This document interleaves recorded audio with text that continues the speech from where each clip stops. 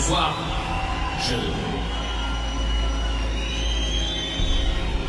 Je suis venu vous dire au revoir à vous tous.